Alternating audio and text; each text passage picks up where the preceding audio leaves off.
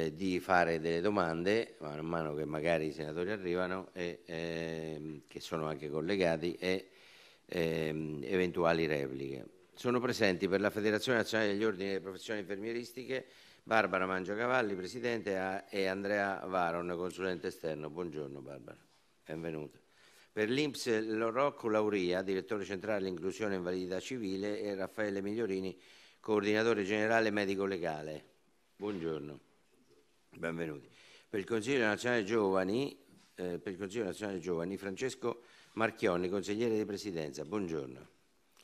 Per l'Alleanza delle Cooperative Italiane, Marco Olivieri, vicepresidente, eh, imprese sociali con delega ai disabili, Marco Bollani, componente area disabilità Conf Cooperative Feder Solidarietà e Marco Zanisi, presidente Serena, società cooperativa, eh, Lega Coop, società cooperativa sociale, Lega Coop Sociali. Buongiorno, benvenuti. Per l'osservatorio permanente sulle disabilità Francesco Comellini, componente del comitato scientifico. Buongiorno.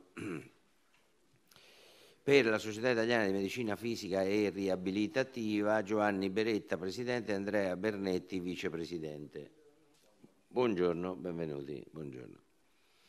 Per la Federazione Nazionale Ordini Fisioterapisti, FNOFI, Piero, Piero Ferrante, Presidente, e Giuseppe Mazzotta, Consulente Legale. Buongiorno, buongiorno. Per l'Organizzazione Sanitaria Meridionale e Assistenza Inabili, eh, Maria Luisa Paciulli, Presidente. Non c'è.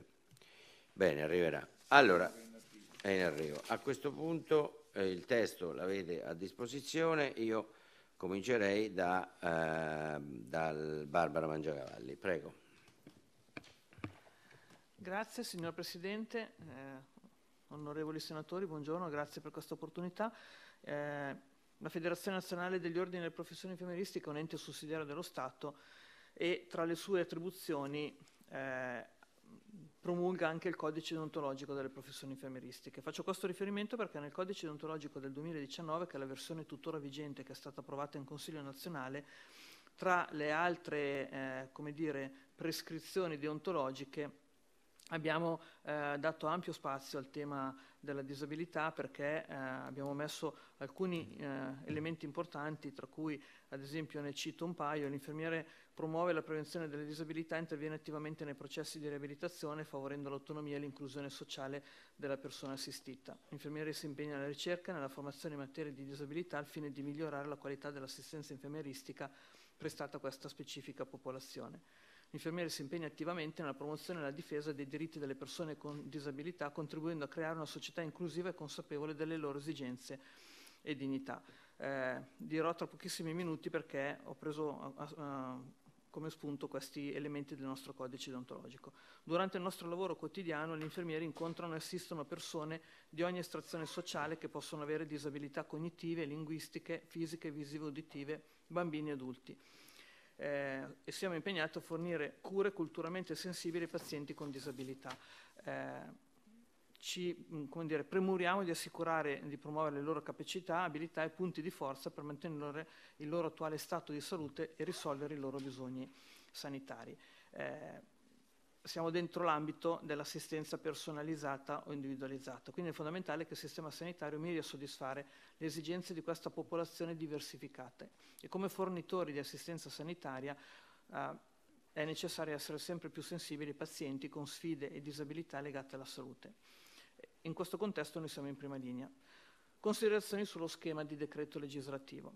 Eh, la Federazione Nazionale intende esprimere una piena sintonia con lo schema di decreto legislativo che interviene con norme relative alla definizione della condizione di disabilità, all'accertamento di tale condizione, alla revisione dei suoi processi valutativi eh, sia di base, eh, legati anche alla valutazione multidimensionale della disabilità e alla realizzazione del progetto di vita individuale, personalizzato e partecipato della persona con disabilità.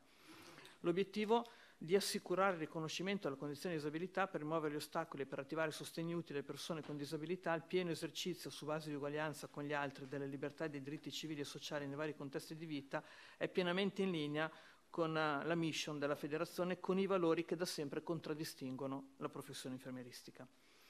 Il disegno normativo è assolutamente condivisibile in considerazione del fatto che deve incentivare dignità e autonomia delle persone con disabilità, contribuendo a definire quel disegno di prevenzione della fragilità nella popolazione. È però necessario investire in un approccio che guardi a sistemi sociosanitari del tutto nuovi, eh, in cui si ripensi anche a nuovi paradigmi delle professioni sanitarie, in primis quella infermieristica. In questo particolare momento storico, infatti, riteniamo che sia abbastanza eh, primario e prioritario e necessario dare luogo a una fattiva e regolata collaborazione tra sistema sociale e sanitario attraverso l'azione coerente di una comunità di cura. Eh, quello che noi eh, percepiamo nel leggere il testo del decreto legislativo, così come ad esempio nel leggere il testo del decreto, sulla, eh, del decreto legislativo sugli anziani, eh, ma anche ragionando sui tavoli ministeriali rispetto al decreto 77, è ancora uno, scolle, uno scollamento tra la missione 5 del PNRR, coesione sociale, e la missione 6, eh, salute.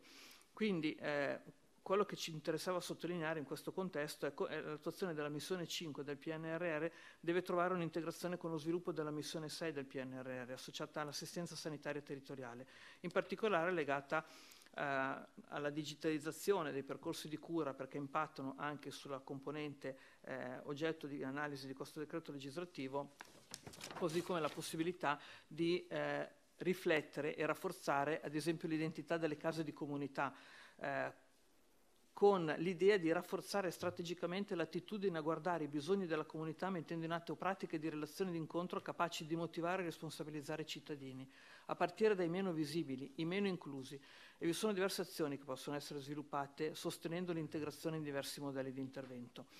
Ad esempio, eh, noi lo abbiamo già proposto in altre occasioni, mi sento di riproporlo qua, eh, abbiamo proposto ai ministri competenti eh, l'istituzione auspicabile presso la Presidenza del Consiglio dei Ministri di un Dipartimento per l'integrazione sociosanitaria degli interventi a favore della persona, perché potrebbe coniugare questa frammentazione di percorsi dei professionisti ma anche organizzativi.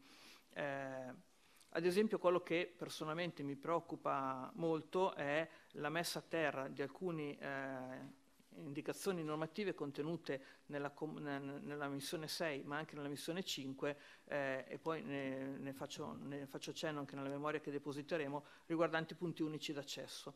Punto unico d'accesso è, se, deve essere un punto unico di accesso sanitario, sociosanitario e sociale. Eh, in realtà noi vediamo in alcuni provvedimenti normativi come vengono finanziati per alcuni aspetti una componente eh, legata alle amministrazioni comunali dei punti unici d'accesso e per altri aspetti una componente sanitaria. C'è bisogno però di mantenere integrato la presa in carico della persona, della persona disabile. Eh, perché mh, quello che eh, riteniamo eh, di valore è la necessità di un lavoro multiprofessionale in equipe e di una valutazione multidimensionale. In questo decreto legislativo si fa cenno alla valutazione multidimensionale che è appunto anche prevista all'interno delle case di comunità e quindi come federazione eh, da sempre sosteniamo che per rendere più efficiente il Servizio Sanitario Nazionale abbiamo veramente bisogno di valorizzare le professionalità che sono dentro la sanità eh, e che eh, vengono messi in condizioni di lavorare su percorsi concertati e su percorsi integrati, con l'obiettivo di fornire ai cittadini quello di cui hanno veramente bisogno, disegnando nuovi modelli organizzativi in un continuum eh, tra i diversi momenti che vanno dalla prevenzione alla diagnosi alla terapia. La presa in carico della persona e dall'assistenza continua, la continuità tra ospedale e territorio eh, deve essere un elemento che dire, orienta le scelte politiche istituzionali. Nello schema del decreto legislativo riteniamo come federazione di sottolineare che la valutazione multidimensionale necessiterà della collaborazione, oltre che della persona interessata, dei familiari, dei caregiver, anche della funzione infermieristica attraverso la partecipazione degli infermieri di famiglia e comunità, così come avviene già per il decreto 77. Eh, abbiamo bisogno di sperimentare modelli organizzativi che definiscano macroprocessi del livello territoriale e affidare agli organismi competenti, sanitari e sociali, eh, la capacità e la necessità di lavorare su eh, una gestione integrata del governo della domanda, raccordo dell'offerta dei servizi sociali e sanitari, gestione e monitoraggio degli interventi sanitari e sociali. Quindi in particolare, mi avvio alla conclusione, integrare modelli già sperimentati di stratificazione dei bisogni sanitari e sociali del territorio, per identificare cittadini fragili in condizioni di rischio, perché solo integrando la vulnerabilità sociale, reddito, rete familiare, abitazione, isolamento sociale e sanitaria, presenza di patologie croniche deficit sensoriali, è possibile garantire una risposta appropriata in caso di bisogno o garantire più a lungo il funzionamento del sistema famiglia presso il proprio domicilio sviluppare maggiore proattività nella presa in carico con appunto punti, unici, punti unici d'accesso integrati dove unico non assume il significato di esclusivo ma di unitario e si supera la logica dello sportello ma intercetti i bisogni sociosanitari che si rivolgono ai diversi servizi. Eh, è necessario eh, ragionare di percorsi fortemente integrati di presa in carico attraverso l'equipe multidisciplinare, è necessario ragionare di nuove politiche abitative per la presa in carico finalizzate al conseguimento dell'autonomia da parte delle persone e delle famiglie in condizioni di fragilità sociale e sanitaria, è necessario eh, riflettere su interventi per l'invecchiamento attivo con la finalità di mantenere più a lungo possibile un livello di indipendenza delle persone anziane eh, così come sviluppare modelli di suddivisione del distretto in microaree, figure di prossimità, IFEC, assistente sociale, che possono esprimere quelle competenze utili a tenere il raccordo eh, di rete. Eh, quindi eh, per arrivare alla conclusione, per quanto, tutto quanto abbiamo espresso, poi ci sarebbero riflessioni da fare, ad esempio, anche solo della COT nel tenere raccordato i diversi livelli eh, di servizio, perché la COT non è esclusivamente sanitaria, ma è un luogo, come dire, elettivo di dialogo dei setting assistenziali dei professionisti per creare la continuità del percorso di cura e di assistenza. Quindi, eh, per tutto quanto abbiamo espresso, riteniamo che l'approccio interprofessionale alle tematiche oggetto del dispositivo in esame eh, affinché non si torni verso una conformazione a silos penalizzante rispetto alla valutazione multidimensionale, debba, come dire, eh, eh, va nella direzione giusta, ma debba essere magari ottimizzato integrato anche con una riflessione con la missione 6 per favorire una piena integrazione sociosanitaria con dire, la, la compartecipazione e la co-costruzione di tutte le professioni sanitarie e sociali, oltre che dalle istituzioni.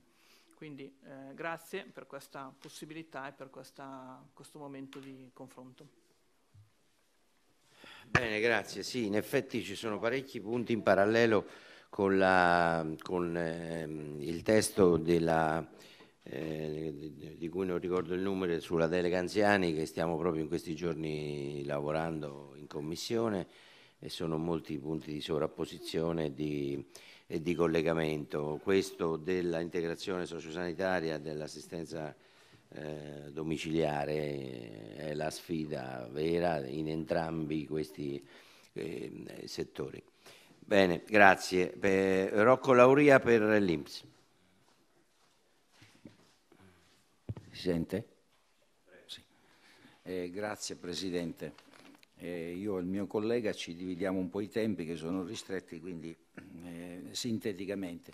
L'Istituto Nazionale della Previdenza Sociale viene coinvolto in maniera da attore protagonista della, della riforma perché l'articolo 9 gli attribuisce la competenza esclusiva sulla valutazione di base. Abbiamo eh, in mente il modello, quindi due step, valutazione di base e valutazione multidimensionale, mentre in quella multi, multidimensionale noi diciamo, non, non, siamo chiamati in maniera diretta, invece abbiamo un ruolo importantissimo eh, sulla, valutazione, eh, sulla, valutazione, di base. Prima di fare qualche riflessione su questo, eh, visto che abbiamo condiviso anche il percorso con, eh, dentro il tavolo tecnico, vorrei sottolineare l'importanza epocale della riforma perché l'articolo 3 parte dalla definizione che ha dato la Convenzione delle Nazioni Unite sulla persona eh, con disabilità, eh, recependone la definizione e facendo riferimento agli standard internazionali della classificazione delle malattie e, e del funzionamento, conosciuti con gli acronimi della ICD e ICF. Inoltre l'accertamento si arricchisce della valutazione di base, si arricchisce anche di un questionario, anche questo standardizzato a livello internazionale, che è il, il VUDAS. Quindi l'accertamento che dovrà fare la nuova commissione, le unità valutative di base, si arricchisce e chiederà anche più, più tempo. Ora, noi eh, diciamo, condividiamo eh, l'approccio che è, è contenuto nella, nella riforma, eh, siamo anche consapevoli dello sforzo che dovremo fare perché vi ricordo un po' i macro dati delle attività, cioè oggi eh, comunque eh, l'istituto gestisce la piattaforma che riguarda l'accertamento della invalidità eh, civile, quindi abbiamo più di 2 milioni più di 3 milioni e 200 mila eh, persone che usufruiscono di prestazioni, la spesa è intorno ai 20 miliardi, nel 2023 abbiamo avuto più di, di 600 mila nuove eh, prestazioni, le domande sono state, eh, degli accertamenti sono state nel 2022 eh, circa 2 milioni e mezzo e 2 milioni e 750 mila nel, 2000, eh, nel 2023, quindi c'è anche un trend eh, in aumento. Quindi eh, l'impegno sarà eh, determinante per, per, noi, tant'è che diciamo, l'articolo 9 prevede anche delle risorse che consideriamo adeguate, senza le quali non si potrebbero dire, costituire le commissioni nella nuova eh, nella, nuova, nella, nuova, forma. Il procedimento eh, pensato, descritto nella riforma è semplice, noi lo condividiamo, arriva il certificato telematico e questa è un'importante innovazione che scatenerà immediatamente la chiamata a visita, mentre oggi il, il certificato telematico aspetta, tra virgolette, l'arrivo della domanda amministrativa, quindi questa è una novità diciamo, importante che semplifica e che ridurrà i tempi della chiamata, della chiamata a visita. Fino a sette giorni eh, dalla data di visita il soggetto potrà depositare ulteriore documentazione, il procedimento deve concludersi entro 90 giorni e la norma dice espressamente che le prestazioni economiche decorrono dal mese successivo dall'arrivo del, del, del certificato. Quindi è immaginato in maniera, in maniera diciamo, molto, eh, molto semplice. Un altro aspetto che noi sottolineiamo è anche la visione diciamo, di sostegno tecnologico che ci sta dietro e, e che riconosce all'Istituto eh, la, la, necessità di garantire la interoperabilità delle banche, delle banche date. Questo è un altro elemento.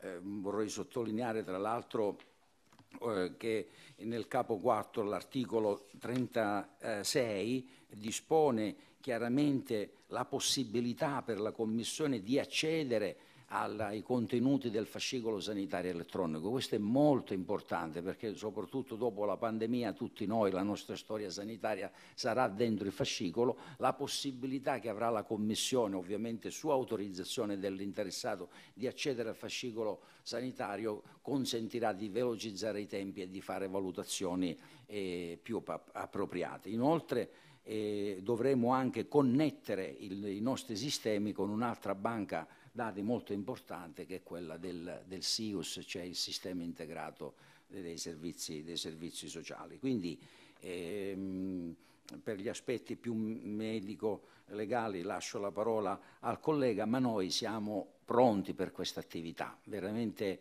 eh, abbiamo collaborato e, e pensiamo eh, che i tempi sono anche adeguati per far sì che dal primo di gennaio del 2025 parta la sperimentazione.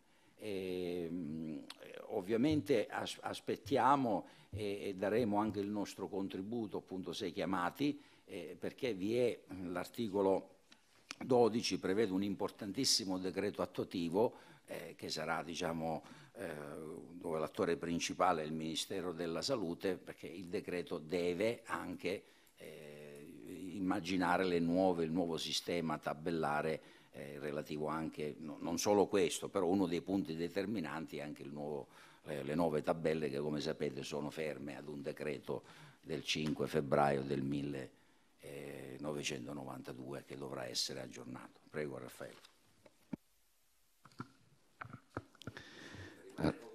Sì, allora sarò estremamente sintetico. Grazie signor Presidente e signori senatori, quindi ringraziamo per questa occasione.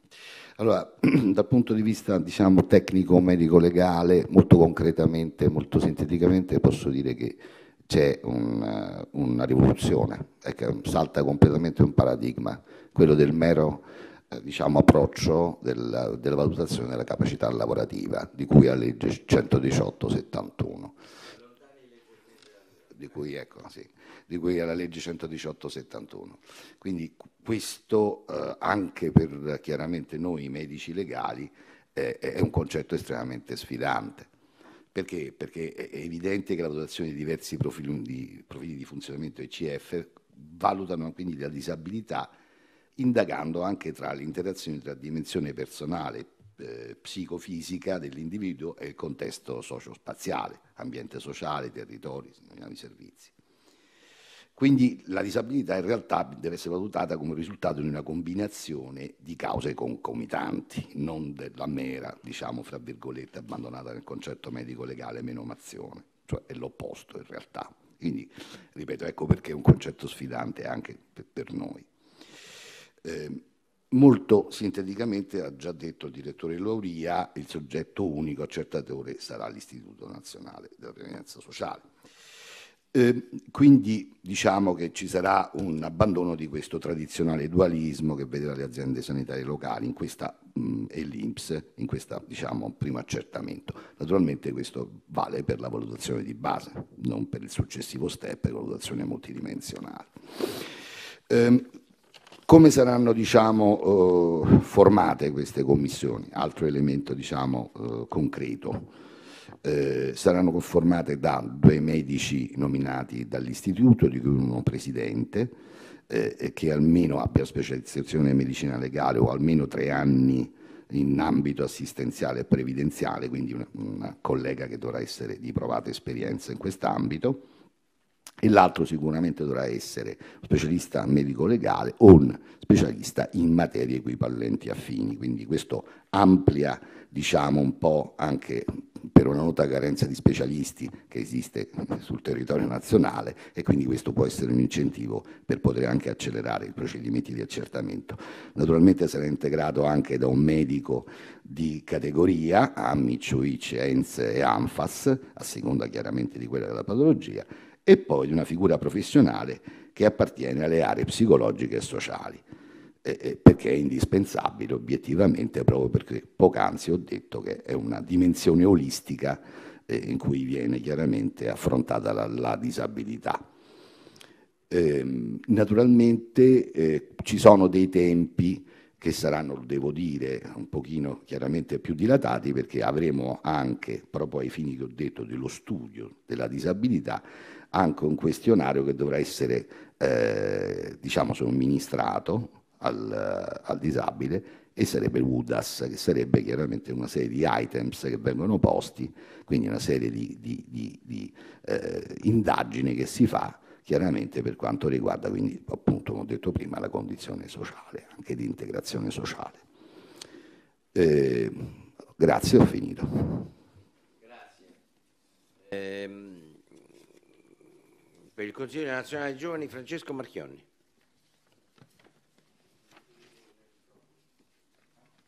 Deve spegnere, è lì. Grazie. Perfetto, grazie. Buongiorno gentile Presidente, onorevoli senatori e senatrici presenti.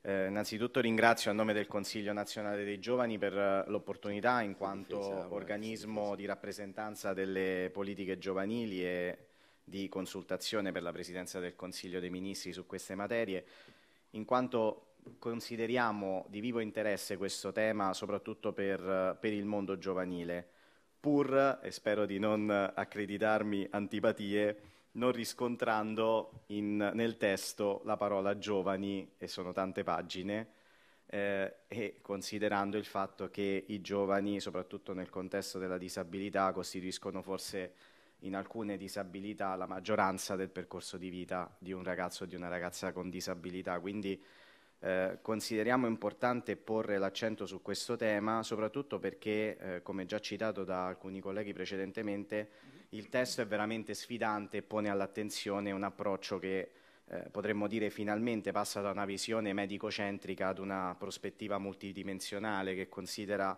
l'individuo e la sua interazione con l'ambiente e con il benessere all'interno della società. Quindi sicuramente, eh, vista l'importanza di questo strumento eh, legislativo, che poi eh, rivendichiamo soprattutto nella, nella, parte legata al progetto di vita individuale, che vediamo essere come dire, la, uh, la naturale eh, disposizione di, una, di, un progetto empirico che nel tempo è stato come dire, portato nell'ottica del terzo settore come una progettualità che oggi vede come dire, una reale concretizzazione in termini legislativi, essere veramente una, come dire, una possibilità che consenta ai giovani con disabilità di partecipare attivamente alla vita sociale, educativa e lavorativa del Paese. Sicuramente l'attenzione rivolta a questa valutazione multidimensionale della disabilità, a partire dalla quale poi individuare supporti adeguati per lo sviluppo unitario del percorso di vita del singolo cittadino, permette sicuramente un decisivo passo in avanti nella comprensione del fenomeno nella sua interezza. E riteniamo sicuramente necessario garantire, nel rispetto del principio di uguaglianza formale e sostanziale, il pieno esercizio delle libertà e dei diritti civili e sociali nei vari contesti della vita quotidiana, soprattutto attraverso l'accertamento della condizione di disabilità e la previsione dei sostegni utili a vivere tali contesti senza ostacoli. Ma tali sostegni non possono essere efficaci se in primo luogo appunto non intendiamo questa sfaccettata multidimensionalità della disabilità articolata intorno a numerose sfide, in primo luogo pensiamo di carattere sociale, Sicuramente è necessario sviluppare politiche pubbliche e misure efficaci che tengono conto della complessità della disabilità. Oggi, parlando in questo testo oggettivamente di accesso in maniera molto sfidante della disabilità non più come inabilità al lavoro, ma come proprio concetto di vita, cioè condizione di vita che una persona si trova a vivere e soprattutto poi il progetto di vita individuale come una sfida per l'individuo anche di coprogettare insieme alla società il proprio futuro, deve trovare anche una terza gamba, potremmo definirla, che è quella dell'accessibilità. E invito insomma tutti quanti anche a vedere questa sala. Oggi una persona non vedente, una persona sorda, avrebbe difficoltà ad accedere a, in questo momento specifico se non predisponiamo prima la sala ad accoglierlo non siamo pronti a livello proprio nazionale ad accogliere la disabilità in tutti gli aspetti della nostra vita sociale.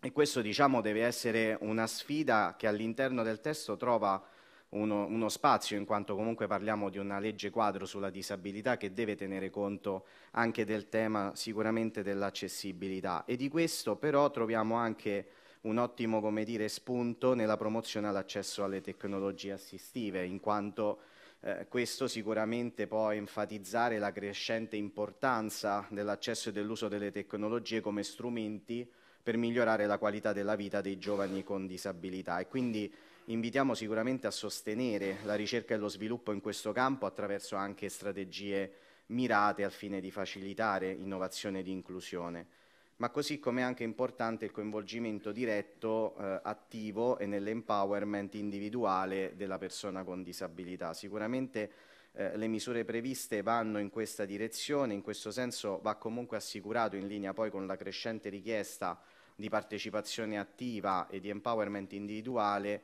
quello che è la partecipazione alle questioni sociali, cioè cercare di far sì che insomma, la persona con disabilità sia anche coattore delle scelte che eh, lo riguardano in maniera istituzionalizzata e poniamo quindi l'attenzione anche a sfide affrontate oggi da giovani, per esempio studenti con disabilità, nel nostro sistema educativo. Potrebbe, questa legge potrebbe anche creare un ponte tra quella che è poi una riforma del sistema istituzionale legato all'educazione, tenuto in considerazione che oggi noi abbiamo un modello che sicuramente si differenzia in Europa per quello che riteniamo essere un modello eh, abbastanza inclusivo, eh, ma insomma io riporto sempre una mia esperienza personale vissuta al liceo, io non ho mai avuto possibilità di conoscere appieno una mia compagna di classe con disabilità perché era sempre poi trasferita in un'altra aula con la propria professoressa di assistenza sociale a lavorare. Questo non permette inclusione lì dove ovviamente parliamo di empowerment dell'individuo.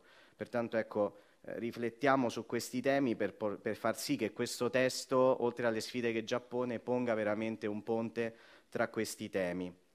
E quindi come consiglio non solo che crediamo insomma, anche in un altro tema che viene citato nel testo che è quello del peer counseling perché la, la persona con disabilità può sicuramente essere a sua volta soggetto come dire, di aiuto per la persona con disabilità che ha a fianco e quindi dalle sue esperienze trarre anche possibilità eh, di coinvolgimento, ma sicuramente il tema che poniamo è, si racchiude in, in alcuni punti che chiudo, Innanzitutto la partecipazione attiva, quindi garantire questa partecipazione attiva dei giovani con disabilità in tutti gli ambiti della vita sociale, istituire magari anche un indice di monitoraggio che possa aiutare anche a misurare l'efficacia delle normative sulla vita dei giovani con disabilità, assicurando che le misure attuate poi migliorino concretamente lo stile di vita e soprattutto lavorare su una didattica inclusiva che possa collaborare e trovare collaborazione con le istituzioni educative per sviluppare un miglioramento continuo della didattica inclusiva che poi nel piano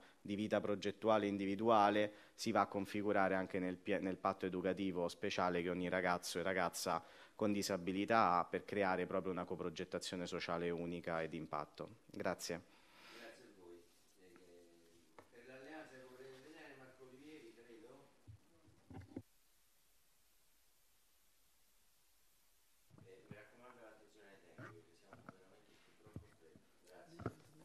Marco Zanisi, eh, noi siamo l'Alleanza delle Cooperative Italiane, eh, ci siamo divisi l'intervento in due. Eh, L'Associazione Generale Cooperative Italiane, Conf Cooperative Feder Solidarietà e Lega delle Cooperative Sociali, eh, cooperative riconosciute, promosse tutelate dall'articolo 45 della Costituzione. Rappresentiamo circa 10.000 cooperative sociali con 375.000 occupati e alcune centinaia di migliaia di persone con disabilità e di famiglie di cui ci occupiamo quotidianamente nella gestione di servizi diurni, strutture semiresidenziali, residenziali per persone con disabilità complessa e per persone non autosufficienti, assistenza domiciliare, assistenza scolastica. Eh, grazie per la possibilità di intervenire e grazie anche per la ricchezza dei contenuti finora espressi. Eh, noi ci occupiamo inoltre di eh, molti progetti dedicati al dopo di noi, progetti per la qualità della vita adulta indipendente delle persone con disabilità, percorsi di inserimento lavorativo dove nelle cooperative ancora oggi si trova molto più risposta che nel resto del sistema economico italiano. Eh, lo schema del decreto in oggetto, atteso da anni, rappresenta secondo noi un buon risultato e anche un compimento, un'approssimazione a quanto descritto dall'articolo 14 della 328 del 2000. Eh, riguarda il recepimento delle indicazioni della Convenzione ONU per i diritti delle persone con disabilità e allo stesso tempo presenta alcune criticità che ci portano a presentare precise osservazioni che il collega Bollani presenterà successivamente. Con un duplice obiettivo questo, portare un contributo a questa riforma da parte delle cooperative sociali, non solo eh, impegnate ad erogare prestazioni nel sistema dei servizi e progetti, ma garantendo coesione e inclusione e innovazione sociale nell'ambito delle politiche e dei servizi per la persona con disabilità in tutti i contesti territoriali, da piccolo quartiere alla regione. Garantire e sostenere un'adeguata transizione a tutto il sistema dei servizi territoriali esistenti senza perdere di vista la centralità della persona con disabilità e dei sostegni necessari ai suoi contesti di vita per garantirle benessere, inclusione e senso di appartenenza alla propria eh, comunità.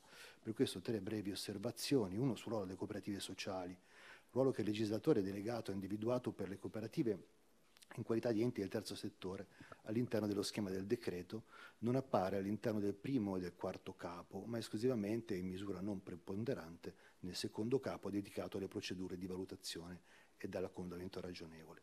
Per questo motivo ci interessa garantire il riconoscimento del ruolo delle cooperative, soprattutto in quel passaggio del capo primo e quarto, valutazione multidimensionale, dove una rappresentanza attiva delle cooperative a monte e a valle garantirebbe un continuum ed il consolidamento di molti progetti e servizi anche innovativi già avviati assieme alle persone con disabilità e alle loro famiglie in tutto il territorio nazionale.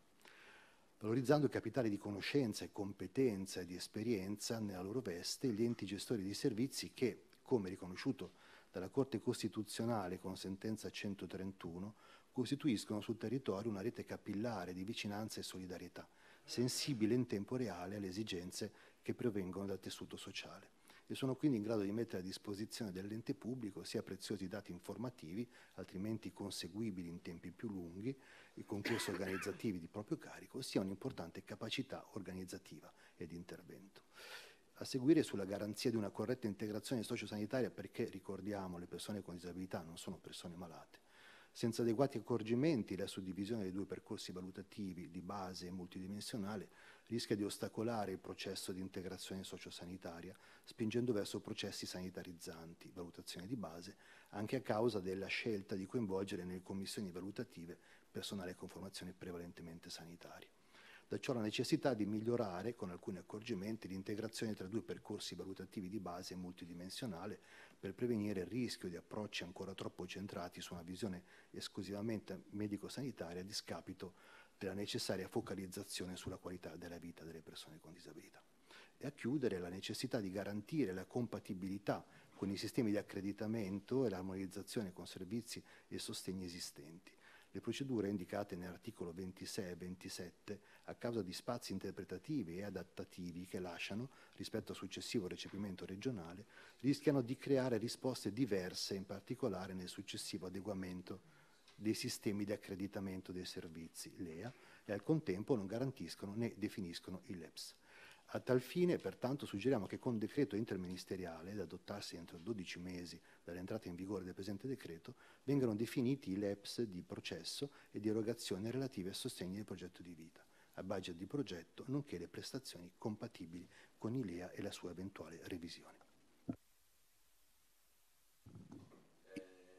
Dottor Bollani, no, la seconda parte, dottor. Sì, se c'è ancora il tempo. grazie Presidente, grazie a tutti i senatori. Ad integrazione dell'analisi del collega Zanisi, anticipo alcuni alcune proposte di emendamento che saranno oggetto di una nota specifica inviata nei prossimi giorni con l'obiettivo di superare alcune criticità che riguardano due macro questioni presenti nel decreto. La prima, l'integrazione tra i due processi valutazione di base e valutazione multidimensionale. Alcuni accorgimenti dal nostro punto di vista dovranno essere portati per integrare meglio questi due processi e la seconda questione riguarda invece un problema di procedibilità, sia di tipo giuridico che organizzativo, a livello territoriale. In modo particolare riguardo alla prima criticità nell'integrazione tra i due processi di base, gli emendamenti riguarderanno articolo 6, articolo 9 e articolo 10 e in particolare riguardo all'articolo 6 eh, si evidenzierà la necessità si evidenzierà che la necessità e l'intensità dei sostegni individuate nel, dall'unità di valutazione di base possano anche essere variate e modificate in sede di valutazione multidimensionale e di definizione del progetto di vita. In relazione all'articolo 9 che riguarda la composizione e il funzionamento della Commissione della valutazione di base, appare fondamentale garantire la possibilità di inclusione delle figure professionali dell'area pedagogica e sociale anche nella valutazione di base per integrare l'approccio sociale e sanitario e prevenire il rischio di un approccio esclusivamente medico-sanitario. E in particolare prevedere che nella composizione delle commissioni che svolgono la valutazione di base siano previste anche figure dell'area pedagogica. Prevedere inoltre che vi sia un, investimento formativo all'interno delle, dei, degli, delle commissioni di valutazione di base proprio sui temi dell'utilizzo dell'ICF e anche dei domini di qualità della vita. Prevedere infine la possibilità di integrare tali commissioni con figure professionali dell'area sociale non solo sanitaria e garantire inoltre che chi assiste la persona con disabilità possa essere un professionista non solo medico o psicologo, ma anche un operatore sociale con competenze in materia di approccio biopsicosociale che riteniamo il cardine e il fulcro del nuovo approccio stabilito dalla Convenzione ONU sui diritti delle persone con disabilità. In, in, estrema sintesi, nell'ambito del procedimento e del riconoscimento della condizione di disabilità si tenga conto ovviamente di ICD e di CF, si valutino però non solo le capacità ma anche le performance nel valutare, nel valutare il funzionamento personale si tenga conto anche dei domini dell'apprendimento e dell'applicazione delle conoscenze. Riguardo invece al secondo elemento di criticità, le proposte di emendamento riguarderanno l'articolo 17 dell'accomodamento ragionevole, l'articolo 24 della composizione dell'UVM, l'articolo 28 relativo al budget di progetto e l'articolo 32 relativo alle azioni di formazione. Per quanto riguarda l'accomodamento ragionevole, occorre prevedere che in materia di accomodamento ragionevole, ai fini dell'accoglimento dell'istanza, si possa coinvolgere anche l'ente pubblico finanziatore del servizio, laddove si renda necessario rivedere gli oneri che da esso discendono, prevedendo anche che tali oneri non siano sproporzionati. Per quanto riguarda l'UVM, occorre riconoscere il ruolo e le competenze e le conoscenze anche degli enti gestori dei servizi, occorre prevedere la presenza degli operatori degli enti di terzo settore e delle cooperative sociali nell'ambito dello svolgimento delle UVM a monte e a valle, laddove le persone interessate siano già seguite o assistite nell'ambito di servizi o interventi da essi gestiti. Infine, per quanto riguarda il budget di progetto, la definizione del budget di progetto sia effettuata anche ma non esclusivamente attraverso i principi della coprogrammazione, e coinvolgendo non solo i servizi sociali ma anche sociosanitari, facendo salvi gli interventi già in essere ed avvalendosi, tra le altre, delle risorse economiche sia sociali che sociosanitarie secondo il principio dell'interoperabilità. E in ultimo, nell'ambito dell'attività formativa si prevede il coinvolgimento delle cooperative sociali degli enti di terzo settore non solo tra i fruitori, ma anche nella fase di programmazione e coprogettazione degli interventi come sancito e previsto anche dalla sentenza della Corte Costituzionale 131 del 2021. Grazie. Grazie. Comellini. Mi raccomando i tempi. Assolutamente, Presidente. Allora, innanzitutto i ringraziamenti di rito che l'osservatorio vuole. Ok, e li saltiamo. Io salterei anche le premesse perché tanto abbiamo depositato una, una, una, una memoria.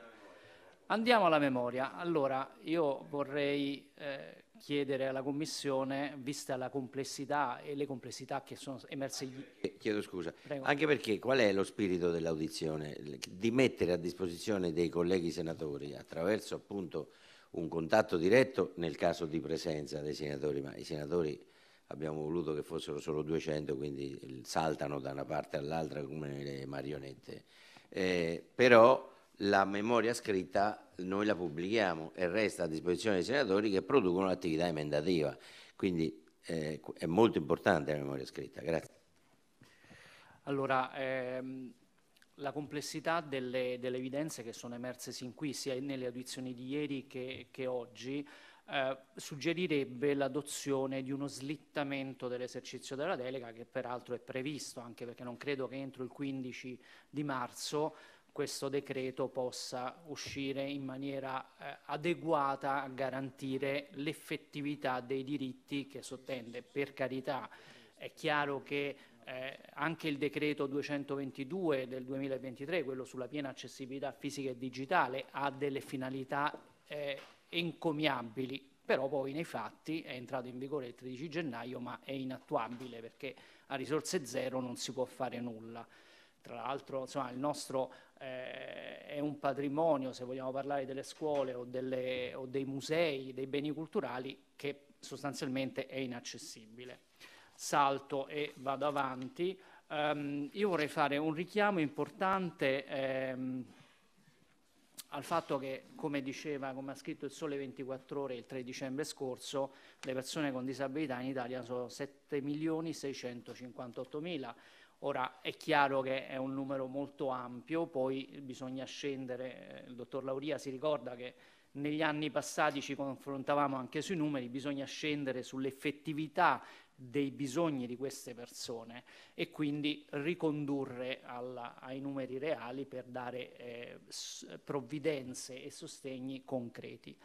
Tuttavia, eh, nel richiamare la memoria, la puntuale memoria del Consiglio di Stato, che lo Sperdi fa propria perché eh, fa delle osservazioni mirate, eh, non si può sottacere il fatto che eh, il garante per la tutela dei dati personali non sia stato nemmeno interpellato. E questo è un problema visto che questo decreto sostanzialmente affronta tutto il panorama di norme basandosi proprio sui dati personali, sull'interoperabilità delle banche dati e questo è un punto critico che il Consiglio di Stato pone addirittura come primo punto della propria memoria. Um, sorvolo sul fatto che il Consiglio di Stato eh, segnala come non emerga dalla documentazione a corredo eh, del, del, decreto il vero e proprio concerto tra i ministeri che nel, diciamo, nell'analisi dell'articolato poi emerge in alcuni punti in maniera più critica. Um, il Consiglio di Stato, e noi condividiamo, fa anche un riferimento sull'adozione dei decreti eh, successivi che eh, rappresentano un ulteriore slittamento delle tempistiche. Sostanzialmente questa delega che io ricordo negli anni scorsi doveva nascere come un progetto di eh, codificazione del sistema è diventata una delega legislativa tra l'altro vincolante per il PNRR perché sono, ricordiamo, la delega sulla disabilità e quella sulla non autosufficienza sono le prime due riforme vincolanti, quindi l'Europa ci guarda e ci guarderà ancora più da vicino nei prossimi mesi, per cui deleghe, eh, questa delega va esercitata in maniera coerente con la produzione di testi normativi che producano un effettivo miglioramento delle condizioni di vita delle persone a cui si rivolgono. Premetto che noi consideriamo gli obiettivi dei decreti legislativi eh, eh, diciamo, sostanzialmente ottimi, ma è la tecnica con cui vengono proposti che ci lascia perplessi. Ci sono diversi, diverse criticità, adesso non ve le voglio elencare tutte, ma mi vorrei richiamare, per esempio hanno, avete citato l'articolo eh, 32, eh, c'è un punto anche nel precedente articolo, eh, sempre in materia di educazione continua in medicina, eh, dove per esempio andrebbe consultato il Ministero dell'Università e della Ricerca, che non mi sembra sia richiamato nell'articolato. Veniamo all'articolo 24 in merito alle figure che possono partecipare all'unità di valutazione multimediale. Ecco, si fa un espresso richiamo al caregiver dimenticando l'aggettivo qualificativo familiare che denota l'ambito in cui questo opera. Questo è un brutto vizio che purtroppo crea una confusione di figure nell'ambito della famiglia, perché il badante non è il caregiver familiare. Tra queste figure occorre, giustamente si fa richiamo alla legge 76 del 2016, però c'è un problema che eh, si elenca una serie di figure, quindi si cita l'affinità. Ora ricordiamo che la legge 76 del 2016 non richiama l'articolo 78 del codice civile e quindi esclude l'affinità tra la, le possibili eh, figure che possono intervenire, in questo caso le, tra le parti delle unioni civili quando una viene a mancare, il congiunto dell'altra non potrebbe mai subentrare nell'assistenza del congiunto che è rimasto privo del, diciamo, del rapporto eh, con l'unione civile, eh, con la parte, e quindi si crea un problema. L'INPS in questo ha prodotto, proprio sulla scorta di una sentenza della Corte Costituzionale, la 213 del 2016, una circolare, anzi per l'esattezza sono due, ma la più importante è la circolare 36 del 7 marzo 2022. Non vi, non vi tedio oltre, ma questa circolare dice che va riconosciuto sussistere il rapporto di affinità tra l'unito civilmente e i parenti dell'altra parte dell'unione civile e lo fa eh, diciamo, per agevolare la fruizione di quelli che sono i famosi permessi della 104. Ecco, anche in questo caso si potrebbe creare il rischio per cui nel famoso, eh, nella famosa unità di valutazione multidimensionale ci si trovi nella condizione di avere di fatto un affine, ma che non possa, per eh, effettività della carenza dell'articolo, diciamo del requisito di affinità sancito dal codice civile, partecipare. Vado velocissimo perché ho promesso al Presidente di essere ancora più rapido. Ho finito. Volevo intervenire sull'articolo 28 che, eh, sono brevissimo Presidente, ha un problema. Quell'articolo 28 richiama il fondo di, di funzionamento delle università. Ora, è strano che venga richiamato in quanto poi il comma 8 dice che la persona con disabilità può autogestirlo e lo deve rendicontare, è strano che si richiami un fondo che sostanzialmente non è disponibile alla persona in quanto la gestione del fondo, che probabilmente non viene compreso, non si è capito come funziona per chi ha scritto il decreto, è, com è, composta da tante parti, tra cui anche una parte dedicata alle misure di inclusione sociale per gli studenti con disabilità. Ora, è difficile poter dire che questi soldi l'università li ripartisce tra gli studenti, li utilizza a, a, titolo esemplificativo per l'abbattimento delle barriere architettoniche nelle proprie strutture, per rendere eh, diciamo, la didattica inclusiva, per fornire gli ausili e quant'altro, ma certamente non può essere compresa questo fondo nell'ambito del eh, budget di progetto. Pertanto se ne chiede la totale eliminazione o almeno si interpelli il Ministero competente affinché dia un proprio parere.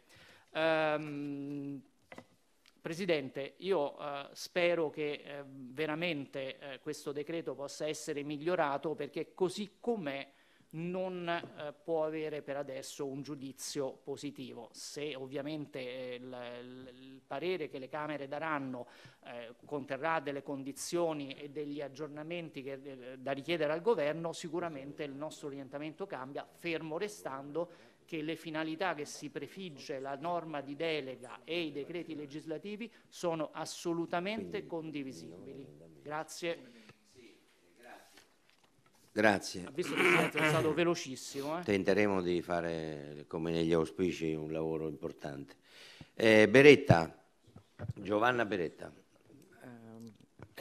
Buongiorno a tutti, ringrazio Buongiorno. per l'invito. Passo la parola al mio vice, professor Bernetti. Bernetti, prego. Eccoci qua, buongiorno signor Presidente, signore senatrici e senatori.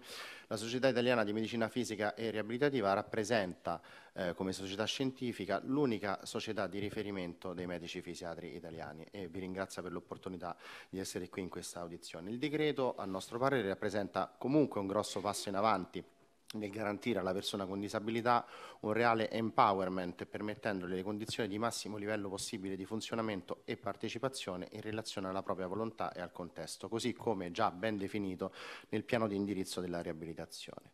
La disabilità non è più concepita come una riduzione delle, delle capacità funzionali determinata da una menomazione, ma come la risultante da un'interazione tra le condizioni di salute e i fattori contestuali, ma questo l'ICF l'ha definito ormai ben 23 anni fa, quindi sono dei concetti ben noti chi, chi si occupa di, eh, di, riabilitazione, non solo ovviamente i medici, ma tutti i componenti dell'essenziale e necessario team riabilitativo. In Italia appunto i numeri relativi eh, alla disabilità sono, eh, sono, importanti, soprattutto sono importanti nelle persone over 65, siamo un paese dove si, si vive molto a lungo, ma negli ultimi anni di vita si vive anche discretamente peggio rispetto ad altri paesi eh, in Europa. Eh, in eh, relazione a eh, le, le, questa evoluzione è solamente eh, un senso peggiorativo, il 29% delle persone con disabilità vive da sola e probabilmente da, nei prossimi 10-15 anni questa percentuale è sicuramente destinata a salire.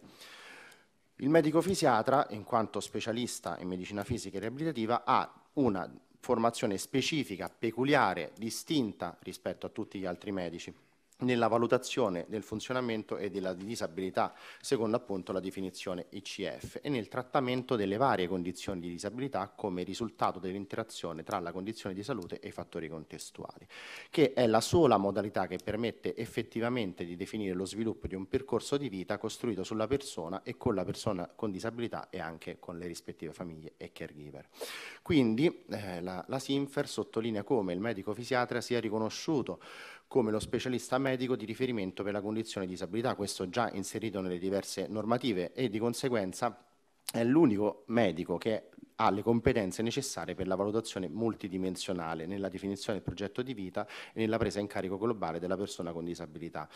In questo modo è possibile garantire l'appropriatezza delle cure riabilitative che può determinare anche una significativa riduzione dei costi sanitari e sociali. Infatti recenti studi hanno dimostrato come a fronte di un investimento di un euro in riabilitazione questo possa generare un risparmio fino al doppio su costi sanitari e sociali, quindi in termini di costi sia di tipo diretto che di tipo indiretto.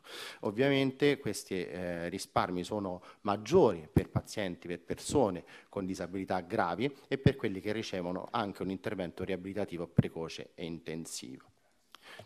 Questi presupposti eh, vengono anche dal recente eh, documento prodotto dall'Organizzazione Mondiale della Sanità che proprio un anno fa, nel febbraio del 2023, ha prodotto il documento ehm, che eh, ehm, stimola tutti i sistemi sanitari nazionali a investire e potenziare i servizi riabilitativi per migliorare la salute e il benessere delle persone con disabilità, raccomandando di aumentare il numero di medici specialisti in riabilitazione e degli altri professionisti in ambito riabilitativo per migliorare l'accesso ai servizi riabilitativi e promuovere anche la ricerca in ambito riabilitativo.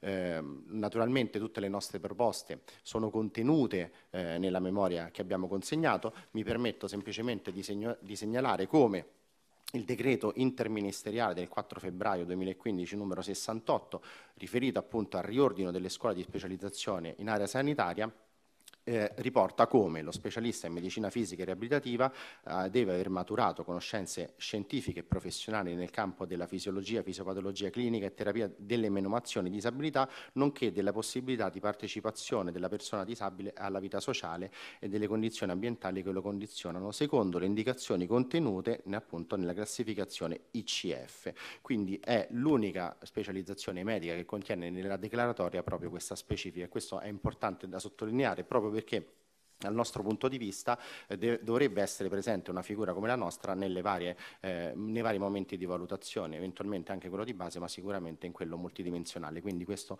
andrebbe inserito. Non vado poi nei dettagli delle specifiche che eh, naturalmente voi leggerete. Vi ringrazio.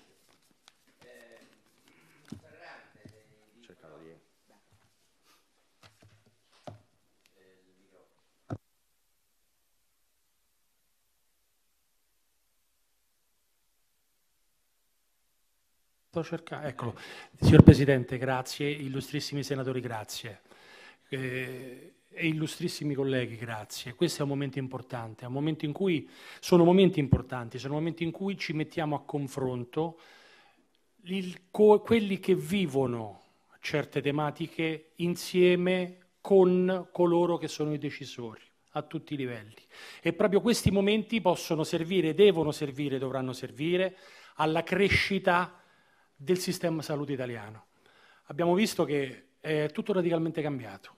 Abbiamo visto che la necessità inderogabile di uscire dal loop prestazionale per entrare in un sistema di presa in carico del, del, cittadino. Cittadino che va preso in carico in tutti i suoi aspetti, se vogliamo che il nostro intervento sia veramente efficace ma anche, ma anche efficiente.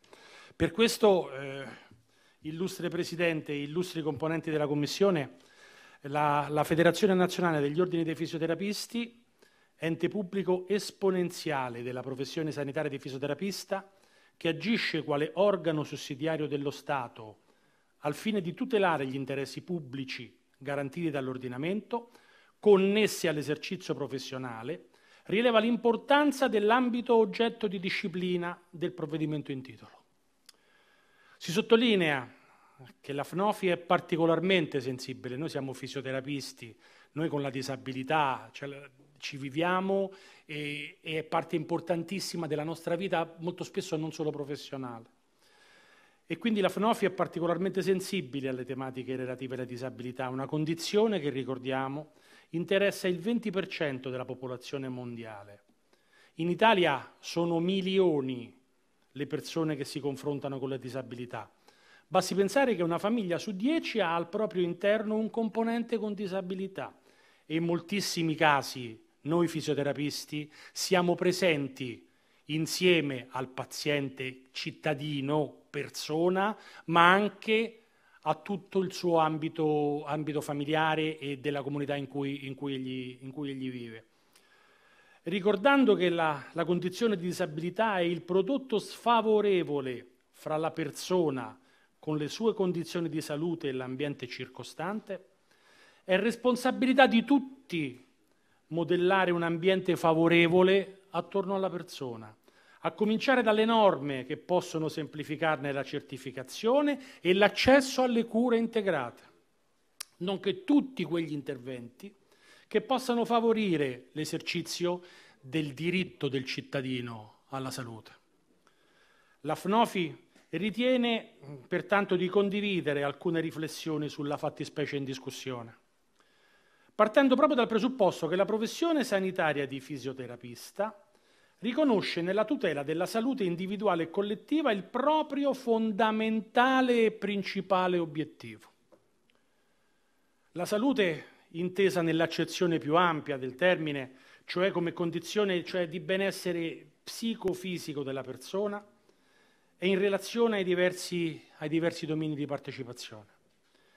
In premessa, va detto, Riconosciamo ed apprezziamo l'intento del provvedimento normativo di ridurre i tempi e gli oneri per la gestione dei provvedimenti amministrativi, con particolare riferimento a quelli che prevedono l'intervento di più accertamenti complessi, stante la necessità di dare attuazione alla Convenzione ONU, con specifico riferimento alla introduzione di una disciplina nazionale in materia di accomodamento ragionevole e di prevedere un sistema adeguato di graduazione dei sostegni per le persone con disabilità. L'apprezzamento, il nostro apprezzamento va senza dubbio esteso anche all'intento di semplificare ed accorpare i citati provvedimenti, procedimenti anche grazie all'eliminazione di adempimenti, non ce lo nascondiamo, non necessari e non ci nascondiamo di duplicazioni istruttorie. Riducendo a tal fine sia il numero dei passaggi per il cittadino che quello delle amministrazioni coinvolte, con la previsione di ricondurre i, i procedimenti di accertamento ad un unico soggetto accertatore, in un'ottica di riduzione dei tempi, scusate, riduzione dei costi, riduzione degli oneri. Condivisibile senza dubbio anche l'adozione di una disciplina unitaria preordinata a definire il procedimento di valutazione multidisciplinare e multidimensionale, perdonatemi, finalizzato all'elaborazione dei progetti di vita individuali che tenga conto della persona con disabilità, come dicevo prima, nelle sue realtà, nelle sue fragilità, nelle sue capacità, nelle sue interazioni con i diversi ambiti della sua vita. Con riferimento, e qui cerchiamo di essere pragmatici, con riferimento al provvedimento in titolo risultano di interesse particolare per la Federazione con l'onore di presiedere le disposizioni di cui agli articoli 12, dove si parla di aggiornamento delle definizioni di criteri e delle modalità di accertamento e di valutazione di base a seguito delle, de, dell'adozione delle classificazioni ICD ed ICF, 24, dove si parla di unità di valutazione multidimensionale, e 29, dove si cita il referente per l'attuazione del progetto di vita. Bene, in merito all'articolo 12 si condivide senza dubbio l'impostazione generale dell'articolo che rimanda, come è stato detto, detto in precedenza da illustri, illustri colleghi, a successivo decreto attuativo l'aggiornamento delle definizioni, dei criteri e delle modalità di accertamento e di valutazione di base a seguito dell'adozione delle classificazioni ICD ed ICF, identificandone analiticamente i contenuti. Si richiama che in base al comma 2 dell'articolo in esame, il decreto attuativo anzidetto, tali contenuti sono individuati tenendo conto delle differenze di sesso e di età. Beh, al riguardo si cita la strategia europea cui lo schema di decreto legislativo è chiamato a dare seguito, nelle parti in cui promuove una prospettiva intersezionale, affrontando le barriere specifiche incontrate dalle persone con disabilità che si trovano in una situazione di intersezione con altre identità, tenendo ferma la distinzione tra identità sessuale ancorata a un dato di ordine biologico ed identità di genere che obbedisce invece ad un orientamento di, di tipo culturale, sociale e o psicologico, e sollecitando ad un'adeguata valorizzazione a fini antidiscriminatori delle dimensioni culturali e di genere. In tale prospettiva, appunto animati dal pragmatismo che da sempre ci, ci, ci pervade, eh, proponiamo che l'articolo 12,2 vada modificato nel senso che si debba tener conto delle differenze di sesso, degli orientamenti di genere e delle differenze, e delle differenze di età. In merito poi all'articolo 24, sulla unità di valutazione multidimensionale. Beh, l'articolo 24 detta la disciplina dell'unità di valutazione multidimensionale chiamata ad elaborare il progetto di vita a seguito della valutazione, secondo la volontà della persona con disabilità e nel rispetto dei suoi diritti civili e sociali.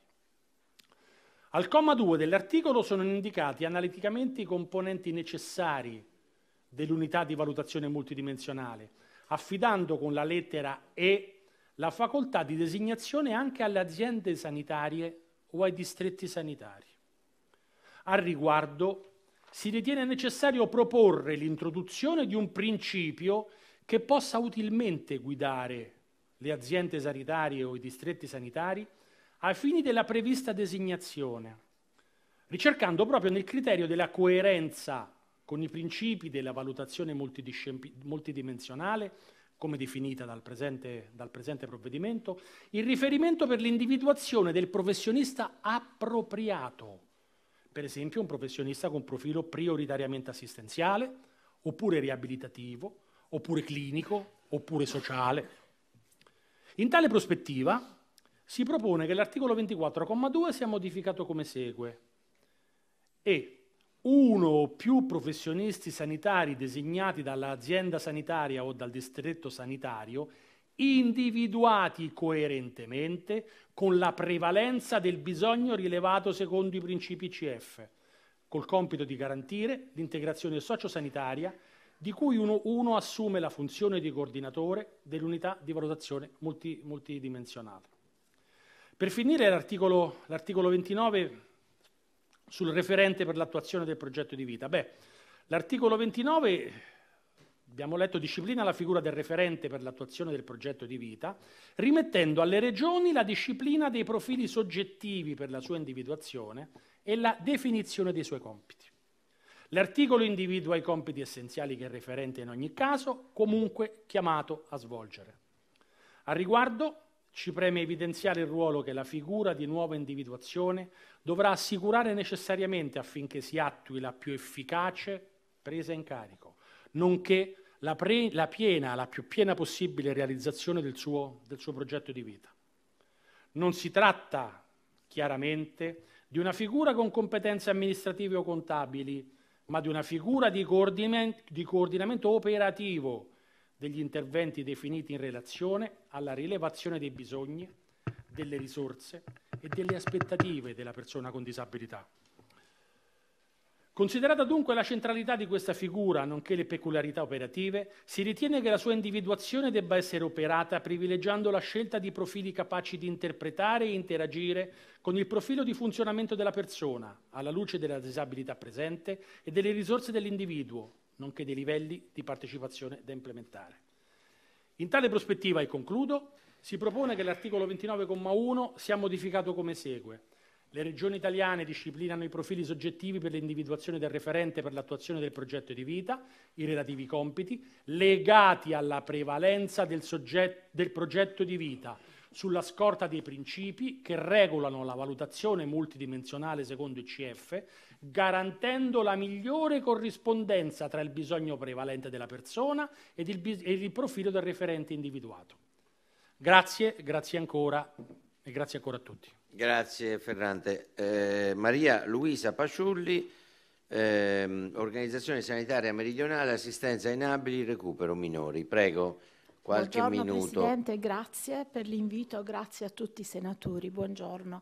Io rappresento l'Associazione Arsota Puglia che, eh, a cui partecipano 4.000 associazioni di disabili. Rappresento soprattutto i disabili gravi. Comunque passo la parola al dottor Semeraro per illustrare più tecnicamente tutto. Grazie.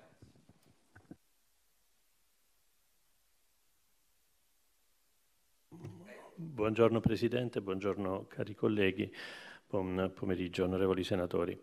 Eh, il presente atto normativo eh, trova condivisione nella, eh, da parte della nostra associazione eh, per quanto concerne le finalità ultime della legge delega, ovvero quelle di eh, trasferire eh, sul nostro territorio nazionale quelle che sono le raccomandazioni della Convenzione dell'ONU sulle persone con disabilità, quindi quelle di garantire alle persone con disabilità il riconoscimento della propria condizione, dei diritti civili e sociali, compreso il diritto alla vita indipendente e dalla piena inclusione anche lavorativa dove possibile.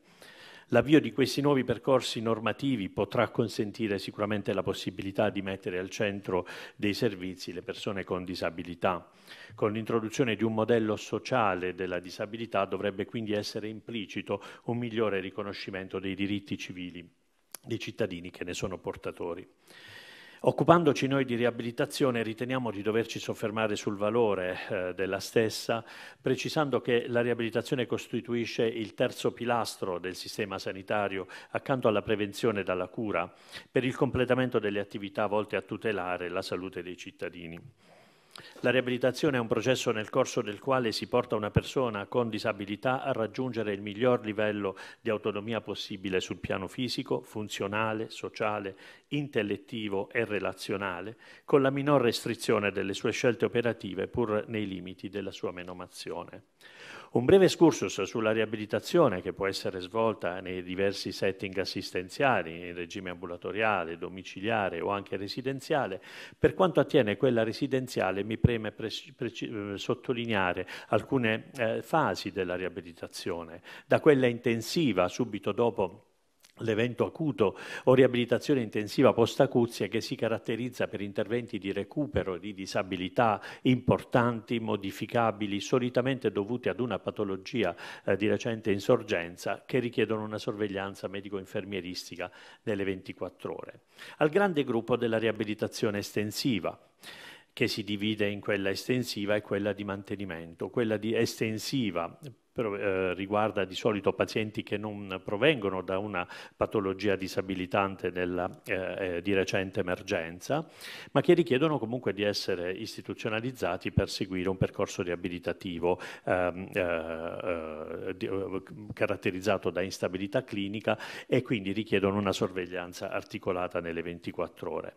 Ci preme soffermarci sulla riabilitazione di mantenimento perché è in questo alveo che si eh, eh, ritrovano pazienti con particolari caratteristiche che andrò via via a specificare, a sottolineare, perché sono queste caratteristiche che vogliamo portare alla vostra attenzione, in quanto nell'ottica di un inserimento di una valutazione multidimensionale che preveda sì la partecipazione dei, dei, progetti, dei pazienti con disabilità al, al proprio, all'elaborazione del proprio progetto di vita, ma ci troviamo di fronte a pazienti che probabilmente, a persone con disabilità di tale gravità che probabilmente non potranno fornire questo loro contributo, allora è giusto che in questo caso riteniamo che lo Stato provveda a dare ampio spazio e riconoscimento quelle, e dare voce a queste persone che purtroppo non possono partecipare, come previsto dall'articolo 21 del decreto legge che si sta elaborando, alla, per presentare una partecipazione attiva all'elaborazione del proprio progetto di vita. E ci, ci, ci fermiamo proprio ad, ad, a sottolineare alcuni aspetti di queste persone. Sono pazienti che presentano una compromissione fisica, mentale, mentale, sensoriale, con una prognosi riabilitativa senza possibilità di recupero semmai con un elevato rischio di peggioramento della disabilità stessa. Presenza di comorbilità che espongono la persona ad un elevato rischio di scompenso a cascata ed ulteriore peggioramento dello stato di salute. Si tratta di persone che facilmente ricorrono all'uso di ospedalizzazioni con, inappropriate, con costi eccessivi per il Servizio Sanitario Nazionale solo perché magari non correttamente gestiti nei presidi dove vengono presi in carico. Spesso si tratta, per fare esempi, eh, di persone che in ragione della grave disabilità intellettiva non sono capaci di esprimere i propri bisogni primari, ma anche il semplice dolore o altri sintomi. Presentano spesso malattie con manifestazioni atipiche delle stesse. Riporto a titolo esemplificativo e non esaustivo, per esempio, la comparsa di uno stato soporoso in presenza di una banalissima infezione delle vie urinarie, o ancora l'esacerbazione di manifestazioni di auto o eteroaggressività in occasione di eventi acuti come una colica addominale o dolore di natura osteoarticolare. L'assenza della famiglia, altra caratteristica, anche per l'oggettiva eh, incapacità a gestire direttamente problematiche come i disturbi del comportamento, le crisi epilettiche, il fabbisogno di assistenza nella respirazione, nell'alimentazione del paziente disfagico la presenza di una gravità tale da non essere proponibili attività di inclusione e reinserimento sociale o progetti di partecipazione attiva alla vita di relazione nella società, ma dove il mantenimento della dignità della persona è già un obiettivo della stessa presa in carico. Dignità e stato di salute che vengono salvaguardati anche solo con una assistenza qualificata e specializzata. Pazienti questi con disabilità di particolare gravità e gravosità assistenziale che richiedono un intenso sostegno anche per il solo mantenimento delle funzioni vitali di base. Parliamo di persone per le quali il trattamento sanitario è strettamente correlato con l'aspetto assistenziale, perché è volto attraverso le cure a rallentare l'evoluzione della malattia ed a contenere la sua degenerazione ed evoluzione verso le complicanze. Laddove si intende con l'attuazione della nuova legge erogare un sostegno intensivo, così come viene riportato eh, nella, norma, nella, norma, a persone con elevato grado di disabilità, riteniamo auspicabile che sia riconosciuto un ruolo a queste persone e che nella, nell'ambito della valutazione multidimensionale vengano eh, elaborati dei percorsi che prevedano il coinvolgimento di strutture specializzate ad alta specializzazione per la gestione di questi, eh, di questi cittadini.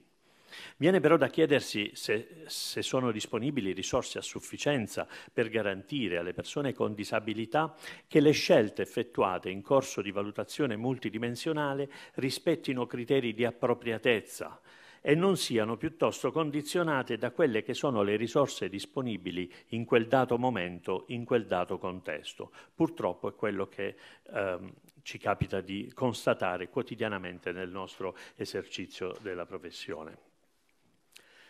Sempre nell'ottica della valutazione e quindi della valutazione delle risorse e dell'impatto che il nuovo decreto attuativo potrebbe avere su enti e agenzie coinvolte, una domanda sorge spontanea. Nell'individuare un'unica fase accertativa in capo all'INPS, è vero, si attua una semplificazione storica che elimina la doppia fase di accertamento riconducibile alle due commissioni, ASL INPS e INPS eh, in un secondo luogo. Ma viene da chiedersi, per esempio, se l'INPS abbia una dotazione di forza di lavoro capace di assolvere le attribuzioni che verranno assegnate con la nuova legge. Sempre nell'ottica di garantire la migliore prestazione, il miglior setting assistenziale a tutti su tutto il territorio nazionale, auspichiamo altresì che la legge dello Stato sia interpretata in modo univoco dalle diverse regioni.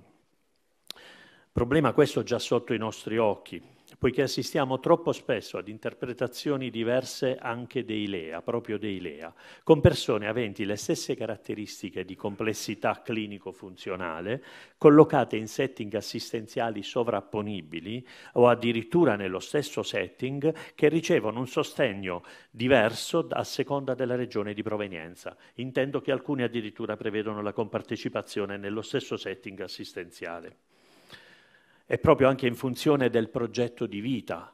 Sarà opportuno garantire la portabilità del progetto, quindi del budget, poiché i cittadini con disabilità possono andare incontro a trasferimenti sul territorio nazionale, proprio come gli altri cittadini. È importante dunque che possano vedere riconosciuti i propri diritti e poter continuare a realizzare il proprio progetto di vita ovunque sul territorio nazionale. Vi ringrazio per l'attenzione.